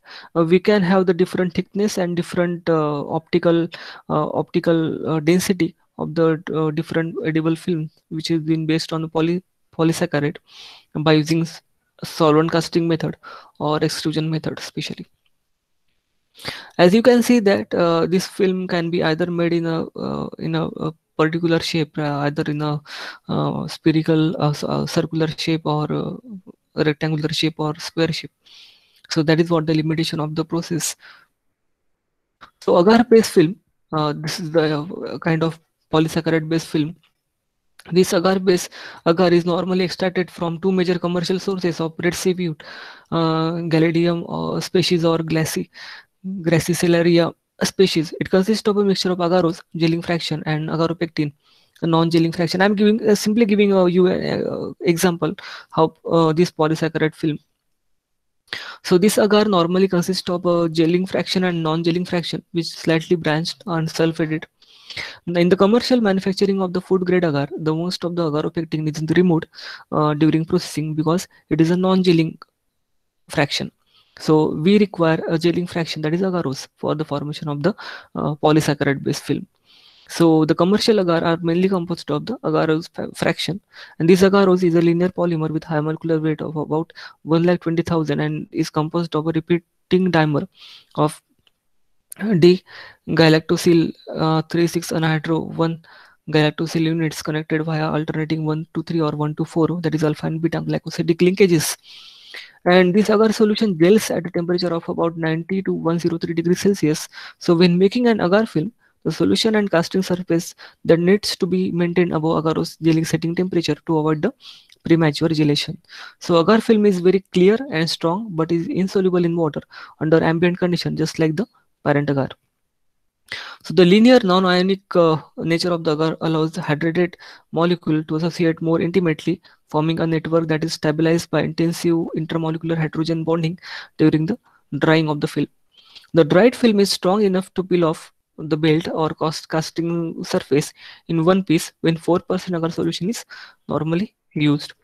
So this is how the agar based edible film look like, uh, which is very much transparent in nature and very much can be formed in a very thin by using 4% agar. And then a pectin-based uh, edible film, which is also kind of polysaccharide film. This pectin-based uh, is commercially produced from citrus peel, such as uh, byproduct from the extraction of the lime, lemon, or orange juices, or from the apple pomace, a dried residue uh, remaining after the extraction of the apple juice. The pectin is uh, normally a heteropolysaccharide in its uh, native state, but extraction with hot mineral acid removes the most of the neutral sugar, such as rhamnose, galactose, arabinose, etc., uh, that comprise mainly a branched or hairy region of the polymer. By definition, uh, for the use in food and pharmaceuticals, uh, pectin contains at least 65% uh, galacturonic acid and methyl galacturonate. And by convention, if the degree of methyl esterification is greater than 50%, the pectin is called highly metho methoxyl grade or high ester. Whereas if it is less than 5 or 50%, it is called as a low methoxyl or low ester pectin. So depending on how the extraction process is uh, controlled and how much uh, deesterification occurs, the pectin, pectin can have a degree of esterification as high as 77% or as low as 20 percent. The pectin is normally used in a food mainly for its gelling property, so which is being influenced by its degree of esterification. Gelation uh, properties also translate into a better intermolecular uh, chain association and film formation. So that's why this pectin is generally uh, forms a very stronger film when gelation conditions are met, that is pH and presence of calcium. Now, other than this pectin and agar, because uh, since these agar and pectin based polysaccharide film are most commonly used to have a nanocomposite film uh, based with uh, either protein or lipids other polysaccharides that has been that are been explored by various researchers to form edible film are methyl cellulose hydroxy uh, methyl cellulose konjac gum pullulan microcrystalline cellulose uh, sodium alginate carrageenan gellan gum uh, chitosan, guar gum, and locust bean gum. And there are so many uh, researchers which are exploring the uh, usage of this particular one or more different polysaccharide material to form a polysaccharide based film currently. So the variety of versatility of gum polymers provide a broad choice of material for producing film for the fresh fruit and vegetable that have a unique function including adhesion and cling, oxygen permeability, plasticity, oil barrier properties, etc. The cellulose uh, derivatives such as the methyl cellulose, uh, CMC, HPC or HPMC have been studied as edible coating materials for fruits and vegetables to provide barrier to oxygen, oil or moisture. So they retain the firmness and crispness of the apple, berries, peaches, uh, celery, lettuce and carrots when used in a dry coating process and are also uh, used to preserve important flavor components for fresh fruits and vegetables. So the chitosan coating uh, on sliced mango fruit slow down the rate of water loss and drop in sensory quality and increase the soluble solid content, titratable acidity and ascorbic acid content and inhibited the growth of microorganisms. The films made from gums have also been studied as a carrier for active uh, actives such as antimicrobial agents and nutrients. So that is what our aim should be. Uh, we should provide some uh, additional uh, quality to this film so as to provide to enhance the nutrition quality of the particular fruits and vegetables. So the Kappa carrageenan films can effectively carry the food grade antimicrobials such as lysosome, lysozyme, nisin, grape seed extract, and EDTA for a wide uh, for a wide range of applications in the food packaging material. These films can also deliver anti-browning agents such as ascorbic acid, producing uh, positive sensory results uh, and the reduction of the microbial levels in a minimally processed apple slices. So uh, despite the significant benefits from using edible coating for uh, extending the product shelf life and enhancing the quality and microbial safety of the fresh and minimally processed fruits and vegetables, the commercial application on a broad range of edible coating of fruits and vegetables are very still limited and of the many improvements that needed for polysaccharides to be used more extensively as edible film and coating material, most important is improving the water resistance of the gum films. Creation of the nanocomposite uh, incorporation of lipid to the gum polymer matrix and or formation of the nanolaminates can provide the solution to this challenge. So as I told you that most of the researchers are normally uh, are currently exploring the various uh, aspects of producing the nanocomposites in which uh, incorporation of the lipid to the gum or gum polymer matrix or the formation of the nanolaminates can be uh, uh, can be used as a solution to this challenge. So incorporation of the hydrophobic ingredients such as the lipids for improving the water moisture barrier while maintaining the desirable resistance to the vapor gas or solute is another research area that can be pursued the protein-based edible film and coating. This uh, film and coatings that has been uh, developed uh, from the renewable sources such as casein, whey, soy, corn zein. Cornseed is very common uh, or majorly explored protein-based edible film or material. Collagen, wheat gluten, uh, keratin, and uh, albumin. As you can see that due to casein's ability to form a water-resistant film, it was used for the hundreds of years in paint and coating but not for edible uh, food food processing industry. In the late 19th century, the casein was converted into a hard plastic material by cross-linking it with formaldehyde. A patent for this technology was issued to the Adolf uh, Spitteler uh, in Bavaria. It was used for the manufacturing of the products such as buttons, umbrella, handles, small boxes, and pen cases, uh, especially in World War World, uh, One and Two, uh, that created a, sub sub substantial demand for materials to make uniform, blankets, and other supplies for the soldiers, which were made from the protein-based film, coating, plastics, and textiles. So the inherent properties of the protein makes them excellent starting material for the film and coating. Uh, the distribution of the charged polar and non-polar amino acids along the protein chain that creates a potential, uh, good chemical potential. This, uh, these protein film forming capabilities are best demonstrated in an emulsified uh, system in which amphipathic protein uh, they form a film at air water or uh, water oil interfaces the protein base, uh, these proteins have multiple sites for chemical interactions, such as a function of their diverse amino acid functional groups, uh, which can allow for the property improvement and tailoring. So chemical changes can improve the stability of the film and coating.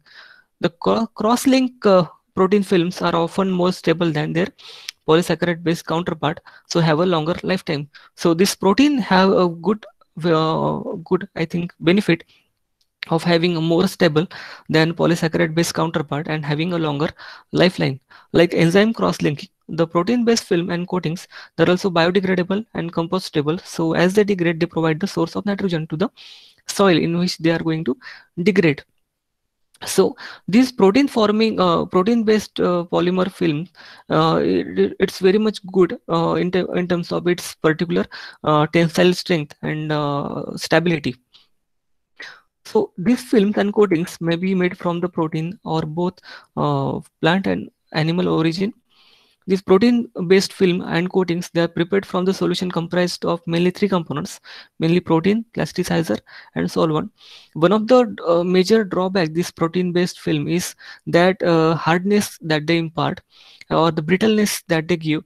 Uh, this this this particular uh, drawback can be easily um, can be easily eliminated by using plasticizer which will give the plasticity uh, required plasticity to the particular film so animal based uh, source or animal based protein that can be used for the preparation of protein based edible film and coating is uh, casein whey protein meat proteins egg albumin whereas the plant source that can be used for the preparation of this protein based edible film is a wheat protein soy protein and corn zein solvent that is been normally used is the water and ethanol but other than ethanol the water is normally used since it is a neutral uh, solvent whereas the plasticizer uh, that can be used uh, uh as a, to provide plasticity to this particular protein based film is poly polyols including glycerol poly, uh, propylene glycol, pro, polypropylene glycol, sorbitol, or sucrose.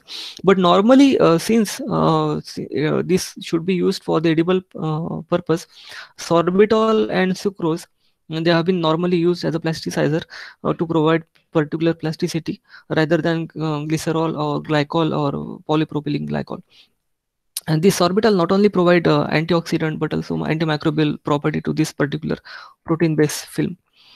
So uh, cereal grains, uh, tubers, legume, pulses, uh, they possess higher protein contents than fruits and vegetables. So these proteins have been isolated and studied for the film formation. The wheat protein, the wheat gluten, uh, which contains a small proportion of the charged amino acid like lysine, histidine, and arginine, and high propor proportion of uh, non-polar amino acid aggregates easily due to the hydrophobic interactions. There are four primary wheat protein fractions uh, classified by their solubility, like albumins, uh, which is uh, water soluble, globulin, which is soluble in uh, dilute salt solution, gliadins, uh, soluble in normally 90 to uh, 70 to 90 percent ethanol, and glutenin, which is insoluble under all the all of the previously mentioned conditions. So out of these, glutenin and gliadin are the major protein within the wheat flour making up to 47 to 30 and 34 percent of the total protein content in them. So gluten protein matrix is also affected by the shear which causes the protein to unfold and hydrogen bonds to weaken and general rearrangement of the protein to form parallel fibers. So these changes normally increases the elasticity and uh, stationing uh, stretchiness of the resulting matrix during the exposure to the shear stress, the hydrophobic areas are pulled apart and become exposed to the water within the dough matrix, leading to a hydrophobic effect and reordering of the water molecule. So when the stress is removed, the protein relaxes and hydrophobic and areas get refold and water becomes less structured and gluten's. that's why the gluten can be easily considered for as both plastic and elastic material. Now, uh, the most commonly used uh, material uh, source for the preparation of protein-based edible film is corn zein.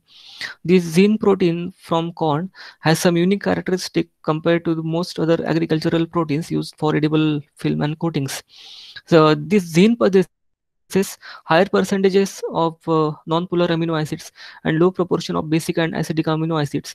The three primary amino acids in corn zein proteins are glutamine, leucine, and proline Consequently, the corn zein protein is insoluble in water, a characteristic that affect the barrier properties of the film. When formed into the film, this zein becomes glossy, tough, and grease-proof with low water vapor permeability compared to the most other ag agricultural-based protein films. So that's why the zein has been commercially used as a coating for the medical tablets and has a potential to be used as a uh, biodegradable packaging. The solvents uh, that has been normally used is if the application of the film or the coating from the agricultural protein is not intended for the food application, other organic solvent may have been used, but since uh, it is being used for the food application, zein film were made using the uh, either aqueous ethanol or aqueous acetone as the solvent system. So when ethanol was used as a solvent, the resulting film initially had a higher tensile strength compared to those made with the acetone. So however, they were more susceptible to the moisture and high humidity environment. That's why the solvents which have been normally used can be uh, water. The plasticizer are small molecular weight compounds that can be added to the edible film or coating solutions to improve the flexibility and mechanical properties of the film matrix. So most protein-based films and coatings, they are very much strong, but very brittle when not plasticized. So as a general rule, addition of the plasticizer increases the permeability of the film or coating. So the most effective plasticizer is of course water. And effectiveness of the plasticizer is depending on the three time uh, three things mainly size shape and compatibility with the protein matrix. The state of the plasticizer under normal storage condition may, may also affect the permeability and flexicity. Solid plasticizer uh, uh, may have an anti-plasticizing effect and decreases the matrix flexibility while improving the permeability. So when applied to the surface of the food as a coating, the protein-based edible films can protect the food from chemical and microbial damages, thus lengthening the product shelf life and maintaining the high product quality. For example, the shelf life of peanut could be extended to 273, degree, uh, 273 days by coating them with a whey protein compared to only 136 days for uncoated samples. The development of hexanol, an indicator of lipid oxidation, was prolonged for 330 days when the peanuts were coated with whey protein film than that contained uh, vitamin E as an antioxidant. So uh, the sorbitol can be uh, used as an antioxidant, uh, can be used as a plasticizer also. So in case of the fresh cut produce, uh, browning and ripening times are major factors that determine the product shelf life. So these protein-based edible coatings that have a moderate oxygen, carbon dioxide and water vapor permeability can be applied to the surface of the fresh, fresh cut produce to extend the product shelf life by dealing the ripening, inhibiting the enzymatic browning and reducing the water loss and minimizing the aroma loss. So whey, whey protein, uh, this whey protein significantly uh, delayed the browning in fresh cut McIntosh apple or set potatoes. So we can see that these protein-based edible films can be easily used to control the oxygen, carbon dioxide, and water water vapor permeability for the fresh cut uh, fresh cut fruits, so that that can that will delay the ripening, inhibiting the enzymatic browning, and that will reduce the water loss and minimize the aroma loss, especially in apples. So protein-based coating are very good gas barriers, especially to the oxygen, and can act as a vehicle for active compounds like antimicrobial or nutrients. Moreover, they could be combined with thermal or non-thermal processing to further increase the product shelf life. These concepts have been normally uh, successfully proven in the laboratory settings. So both edible and non-edible protein-based film have the potential to function in a green packaging applications the companies like walmart and mcdonald's they begin to seek bio-based material to fulfill their packaging needs and that actually creates the demand for the edible film and coatings and protein-based films can be a replacement for the synthetic gas barrier but their mechanical properties need uh, uh still need a improvement So nanotechnology is a viable route to improve the both tensile and barrier properties. So nanomaterial and variations in the nanometer scale affect the electronic and atomic interactions without changing the chemistry. So uh, the last uh, material that can be used uh, or that can, that can be basic material that can be used for the preparation of edible film and coating is lipid based uh, lipid based material so the edible packaging can be used to encapsulate flavor and aroma compounds antioxidants antimicrobial agents pigments that prevent the browning reactions or nutritional substances such as vitamins a very wide range of compounds could be used in the formulation of the edible packaging Many studies have investigated the use of coating on the fresh fruits and vegetables to control the desiccation. So the substances uh, that most often used for the application are the waxes. Uh, the pure lipids uh, can be combined with hydrocolloids such as proteins, starches, or celluloses and their derivatives either by incorporating lipids into hydrocolloid film forming solutions like emulsion technique or by depositing the lipid layers onto the surface of the preform hydrocolloid film to obtain the bilayer. So uh, these lipid-based edible film are nowadays more more uh, advancedly used to form a composite film, which can be used along with the either polysaccharide or protein-based uh, material. So this is what the table uh, I, I, need to show you, uh, which will help you to understand how this lipid-based film, like natural resins, waxes, oil, fats, margarine, essential oils, emulsifier have been used uh, from the different sources. Now, the additives used to improve the functionalities, emulsifier and texturizing agents have been normally used to stabilize the dispersed system. The acid and alkaline substances have been used to improve the protein solubilization. And the tanning agents like sulfides, aldehydes, and ascorbic acids have been used to increase the reticulation or grafting of the biopolymers such as proteins. Moreover, some antioxidants like ascorbic acid, antimicrobial agents, or enzymes like transglutaminase that promote the intra or intermolecular bonds. So enzymes are also used to increase the solubilization of the biopolymers, whereas some salts are used to induce the polymerization like alginates or pectinates. So the technology to uh, use uh, used to get the lipid-based coating Normally, a lipid-based coating are oftenly used or can be obtained from either melting or crystallization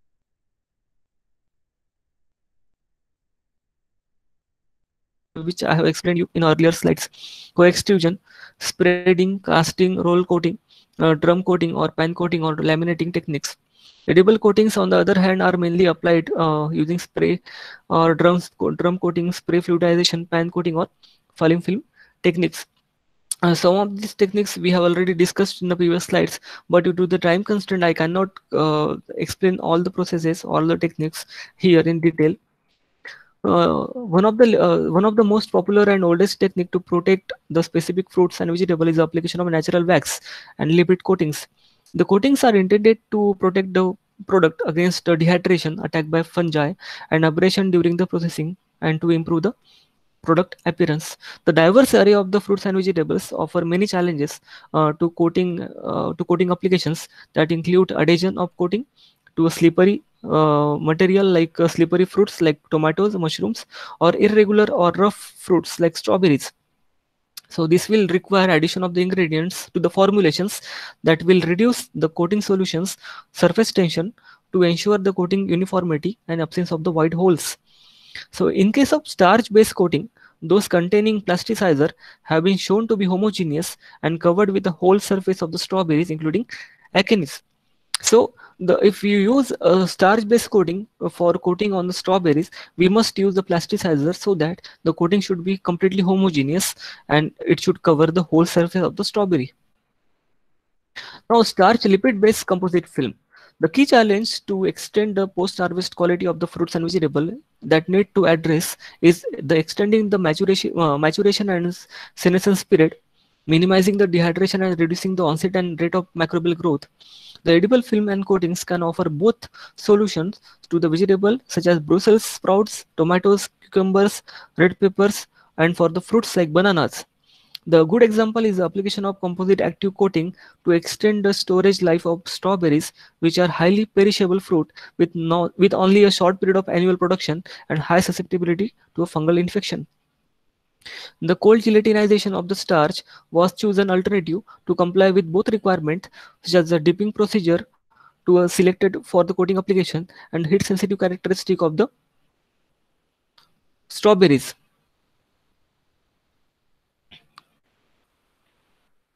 The factors which need to be considered uh, for developing the film and coating is especially how the properties of the coating solutions will affect the product, then how coating will change with time, how the coating will interact with product that might lead to a flavor or off flavor generation, how the storage conditions will affect the coating, and lastly, the other conditions like uh, imp importance of thickness, color, and flavor of the coating, since these parameters can change the final quality of the coated product.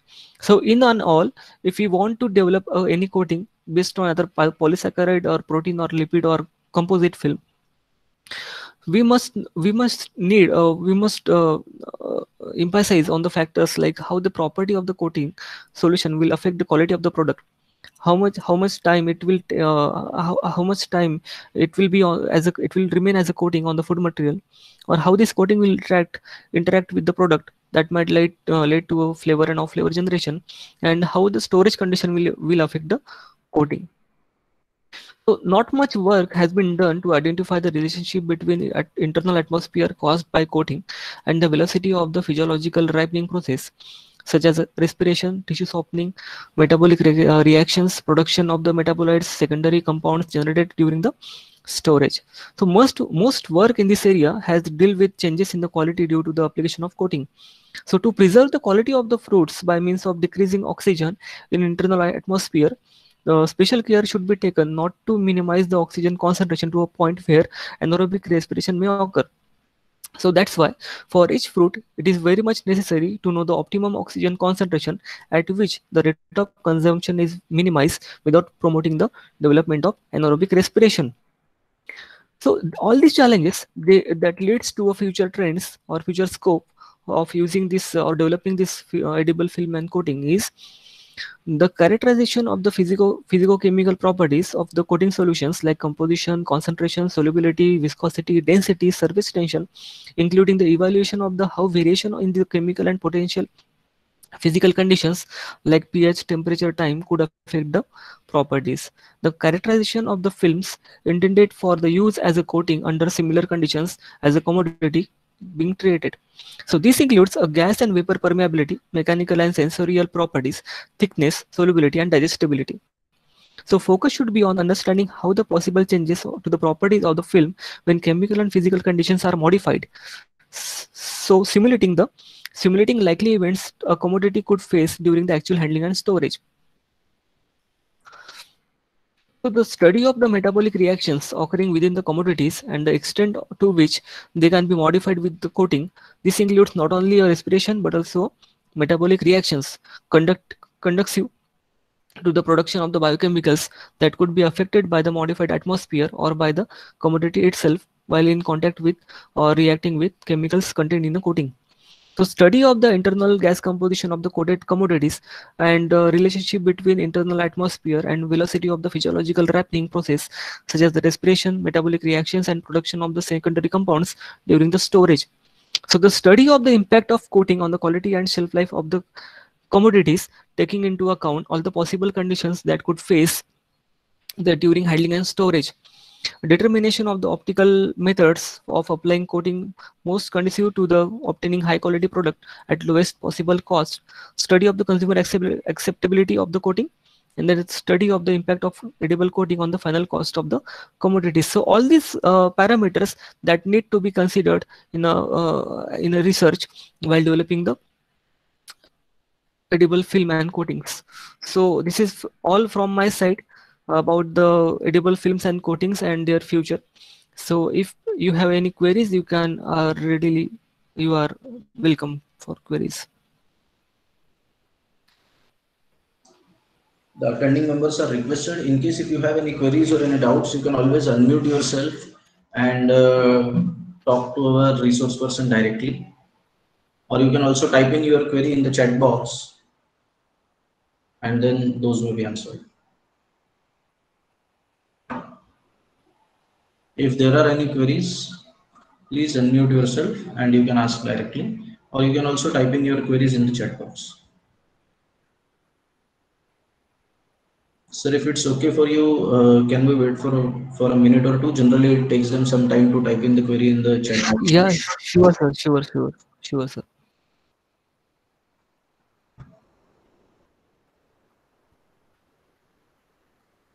So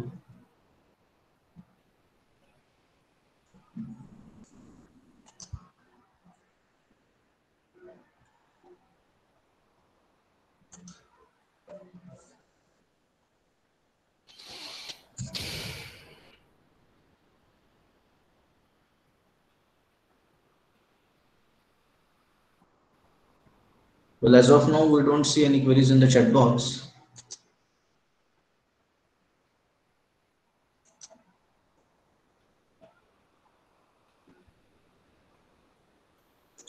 So as of now, we don't see any queries in the chat box. So we can uh, we can conclude here. So on behalf of Ballarpur Institute of Technology and on behalf of the organizing committee of this short-term training program, uh, I thank you very much for conducting such an in-depth session as uh, you have previously also conducted.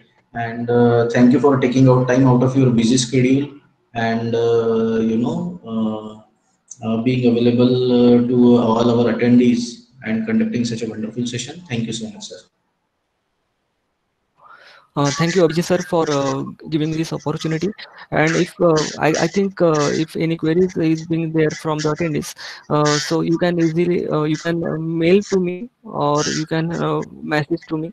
I will be very much grateful or I will be very very uh, happy to all answer all the, your queries through either mail or through message also. So thank you, uh, Ballarpur Institute, and thank you, Abhijit sir, for uh, giving me this opportunity to share this particular topic in this session. Yes, thank you, sir. Thank you so much. Now, to all the attending members, you are requested uh, to please fill in the feedback of this session. The link uh, to submit the feedback of this session will be shared shortly on the WhatsApp group, and you are all requested to fill in uh, that link uh, and submit your feedback before 11 p.m. tonight, after which uh, the link will cease to exist. Uh, also, uh, you are all uh, requested to please go through the schedule. There is an important announcement and the important announcement, I hope you are aware in case if you have gone through the schedule,